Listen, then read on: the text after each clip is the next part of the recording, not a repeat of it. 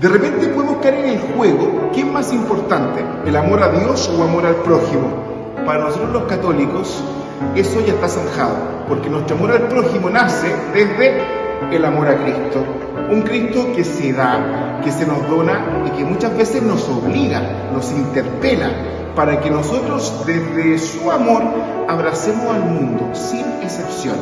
Y ahí tenemos un subsidio que es súper potente, como lo es la Eucaristía, son en el pan y en el vino donde nosotros tomamos la fuerza necesaria para perdonarnos, para amarnos, para reconciliarnos, para vencer toda adversidad.